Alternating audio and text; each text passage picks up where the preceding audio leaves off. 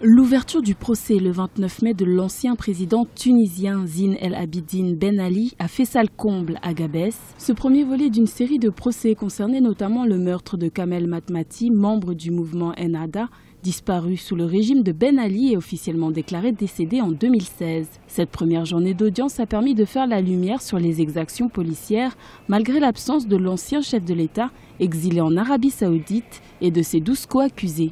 C'est l'occasion pour la justice de prouver son indépendance et repartir sur de nouvelles bases. Poursuivis pour homicide, torture ou disparition forcée dans 25 dossiers, les 13 accusés doivent répondre de leurs actes devant l'instance Vérité et Dignité. Il s'agit du premier volet dans le processus de justice transitionnelle, instruit par cette institution mise en place en 2014 pour rendre justice aux victimes de la répression sous les régimes ayant suivi l'indépendance et les troubles post-révolution est-ce que la vérité, toute la vérité sera, sera dite? Est-ce que euh, les personnes seront euh, jugées réellement? C'est des questionnements euh, qui se posent toujours, notamment pour les Tunisiens qui veulent réellement qu'il y ait justice, parce que ce genre de procès est assez rare dans le monde arabe.